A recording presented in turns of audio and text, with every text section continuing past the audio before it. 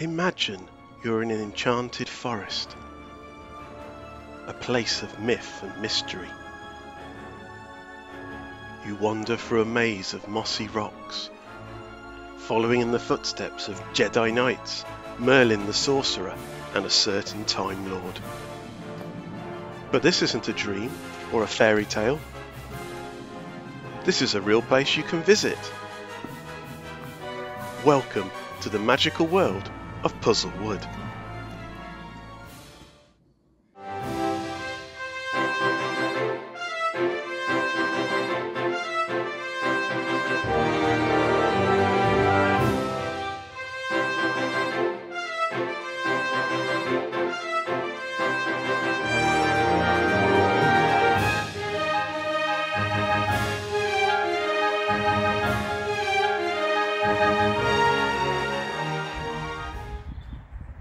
Everyone and welcome to this episode of the Seven Wonders of the Forest of Dean. Today we're at Puzzlewood. Now unlike the rest of the forest, Puzzlewood is privately owned so I'll put a link in the description. Please check out the website for details of opening times and ticket prices. Once you've passed through reception there's a cafe, a picnic area, a play area and then beyond that there's this small farm park. So take a look at the animals but really, this is all about the wood, so we'll follow the signs and head on towards Puzzle Wood. So let's take a quick look at where we are on the map. The Forest of Dean lies between the rivers Severn and Wye, just west of Gloucester, about an hour and a half's drive from Birmingham. Puzzlewood is on the western side of the forest, just south of the town of Coleford on the B4228.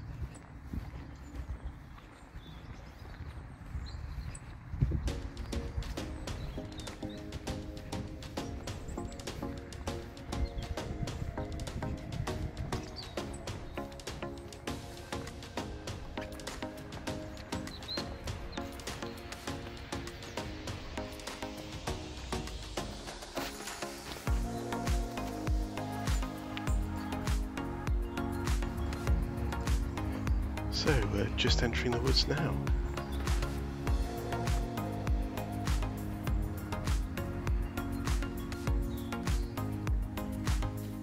Wow. Ooh, which way? Uh, let's head left.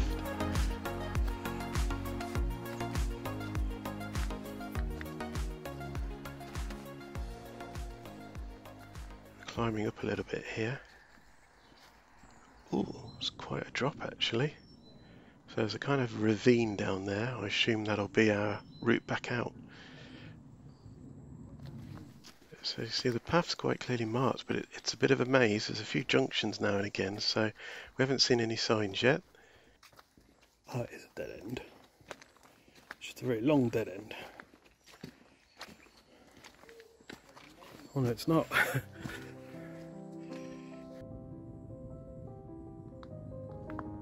oh wow.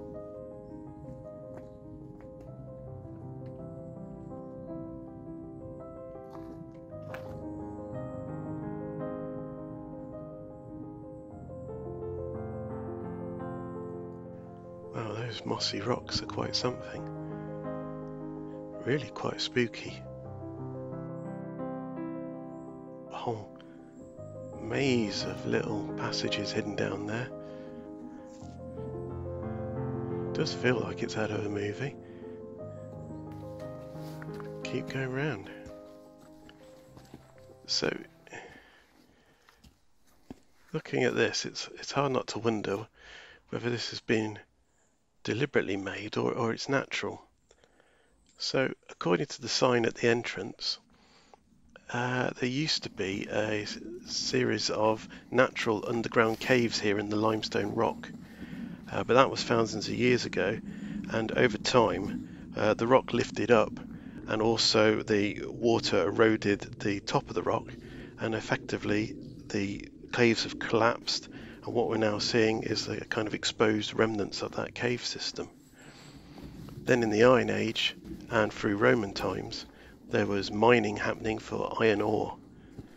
So what we're seeing is a combination of nature and man, and then for the last one two thousand years, the area has been sort of left to go uh, to go back to nature.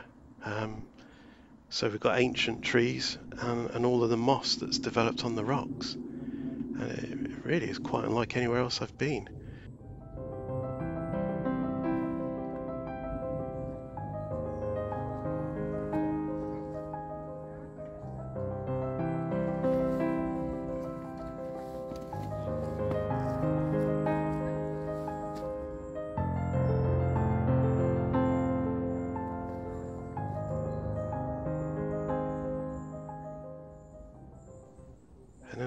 These rustic fences.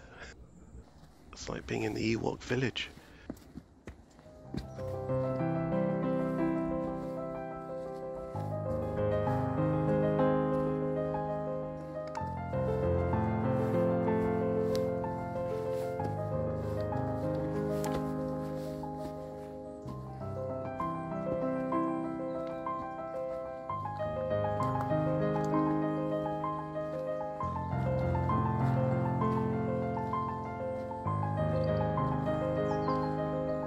So we've come in October and beautiful with the leaves falling and the, the sun just coming through.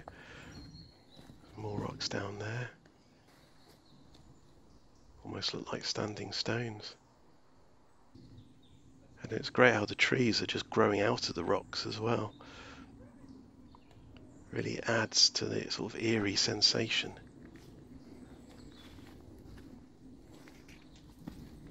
Now it looks like we've got to head down and get a, a little bit of a view of what it looks like down below.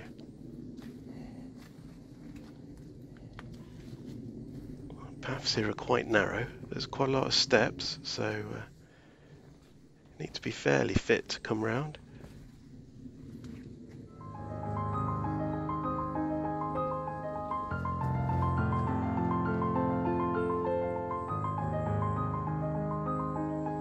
Trees seem really high above me.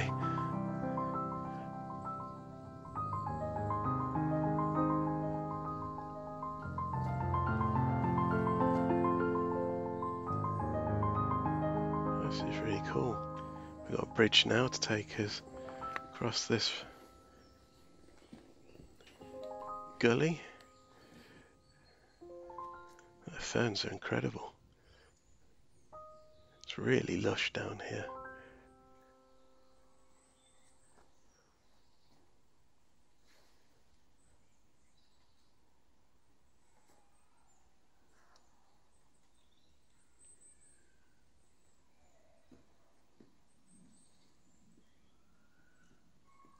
So we'll keep on.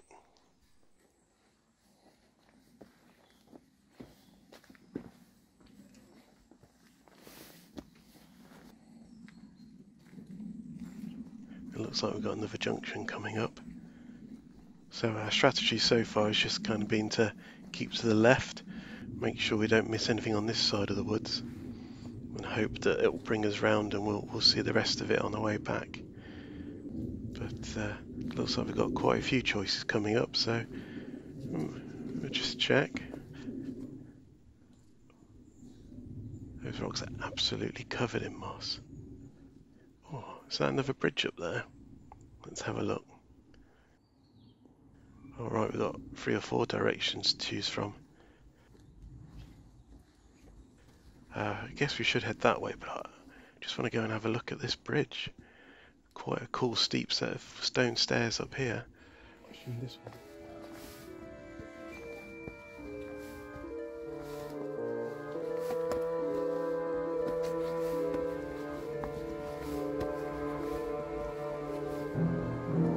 Oh wow, look at this.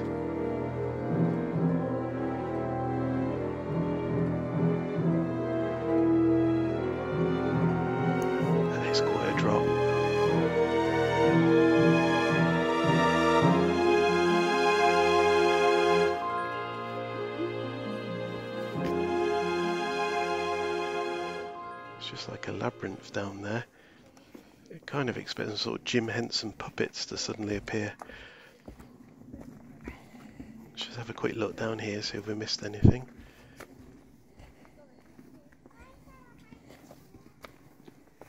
Yes, I think this is coming up from a junction we saw earlier. So we won't go back that way, but just have a look what's over here.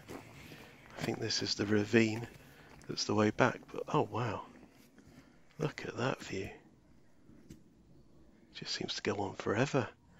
All these lumps and bumps.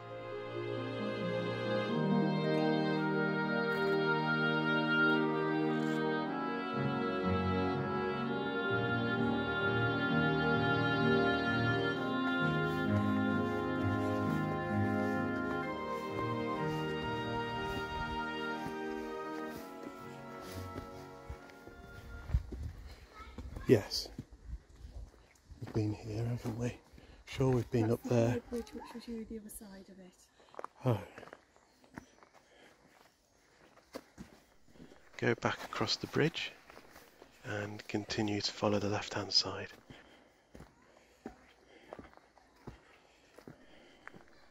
This bridge is awesome.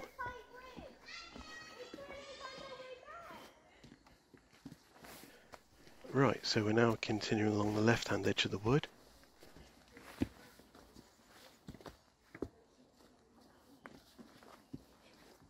More deep hollows. Again, could be mines, could be caves. Some more trees just going straight out the side of the rock.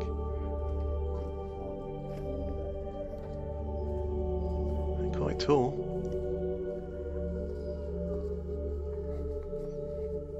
This looks quite intriguing.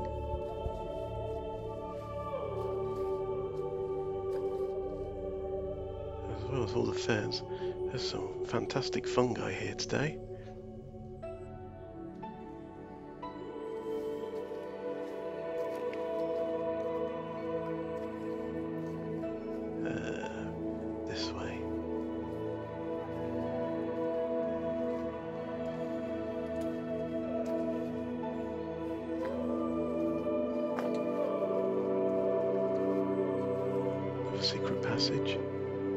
More steps.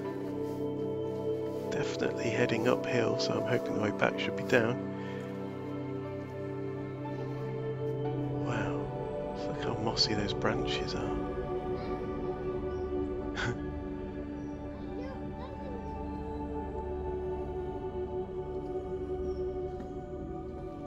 oh, that's cool. It's like a tree's fallen down and they've turned it into a kind of walkway.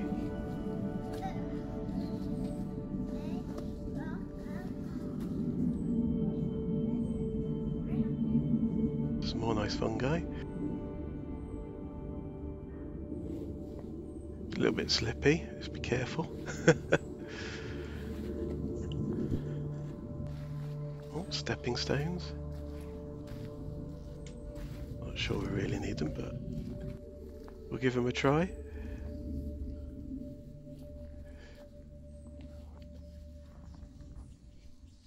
Mm, Going down again. into one of these passageways. Have a look to the right first. Just love all these secret little rock rooms. Apparently someone did find a cache of 3,000 Roman coins down here, so you never know, there might be hidden treasure. Oh, that bench is really cool.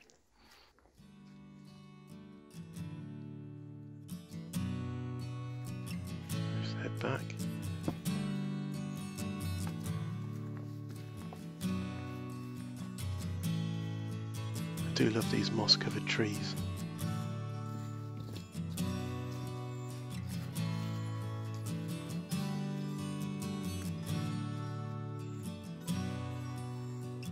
Want another little seat? It's more like a hammock.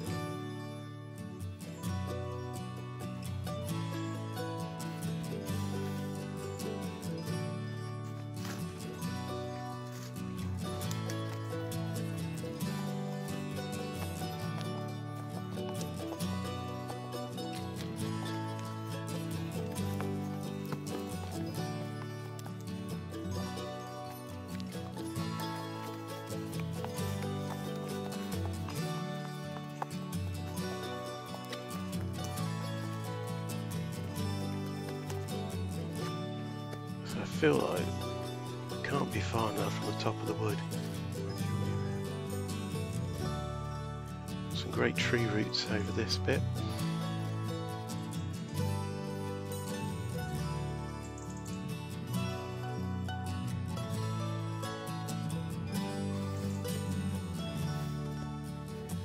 Yeah, starting to see light now. I think that must be the ends of the wood.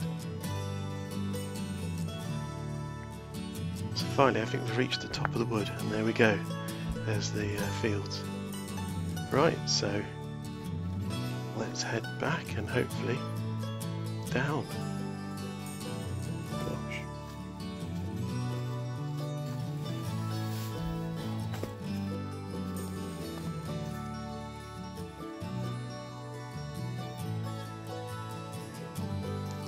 Oh my god, I saw a face in the rock. Can you see that? That's a bit spooky.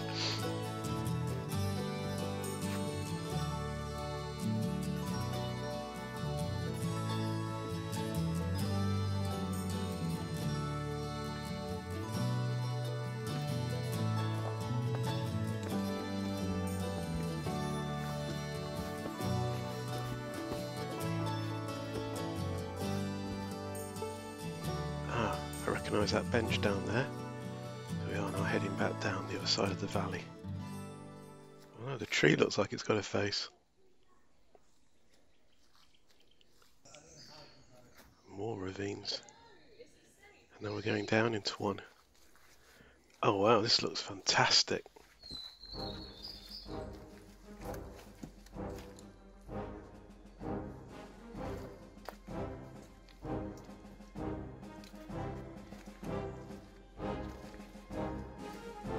Amazing toadstools. Loads of different types here.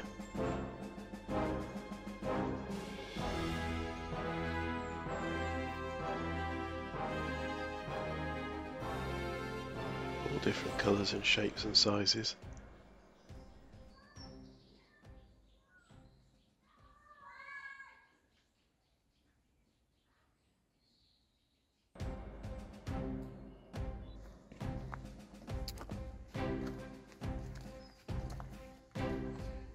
Found the gully.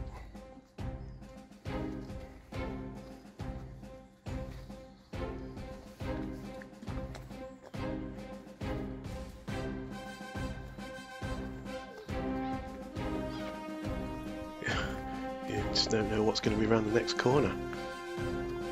It's getting even deeper.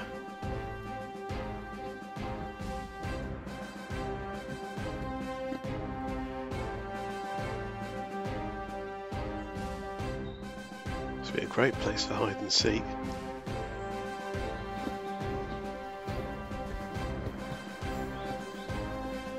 Oh, I've seen another face.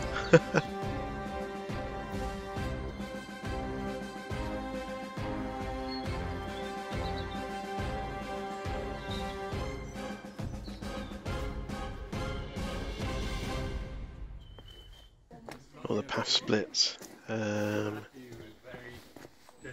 left or right?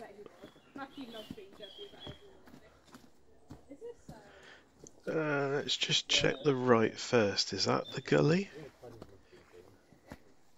That we're meant to be following back?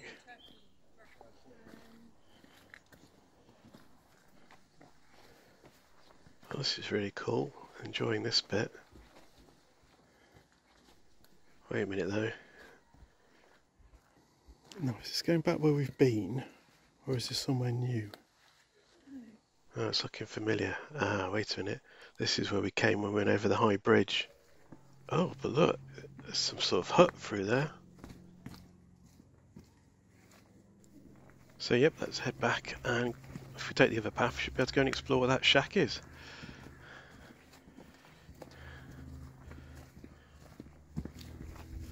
So that's the way we came.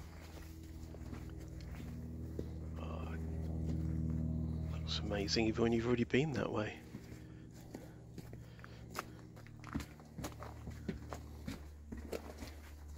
So what's around this corner? oh wow. It just keeps going.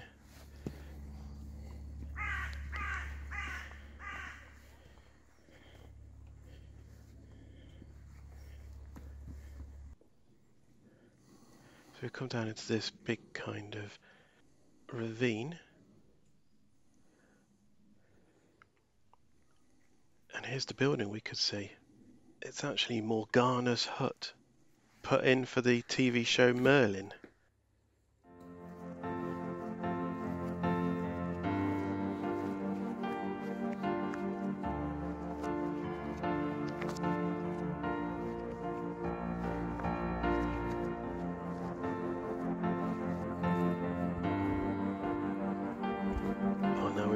Going down into the valley. Oh, this is really beautiful.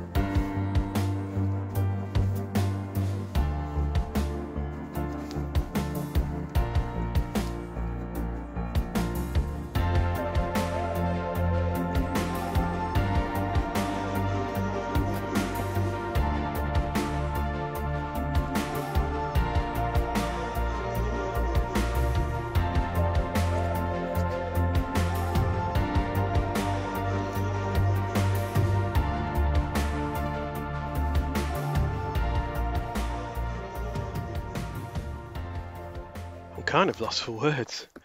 Every time you think this is going to run out, we just find another amazing view. And these rocks and gullies and crevices, they just seem to go on in all directions. Even now, when I think we must be near to the exit, it looks like we've got another ravine to enjoy.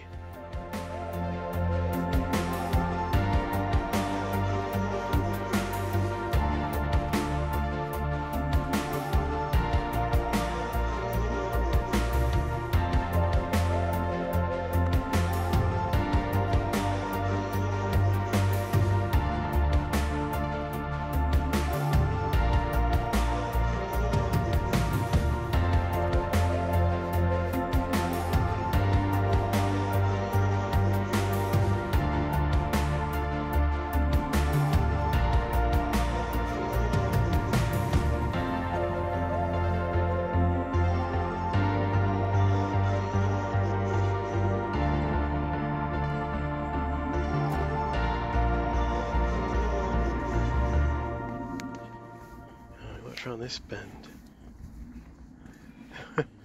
Can't be more, surely. Oh my gosh, this place is incredible. Another secret passage through mossy rocks. Where's this one going to take us?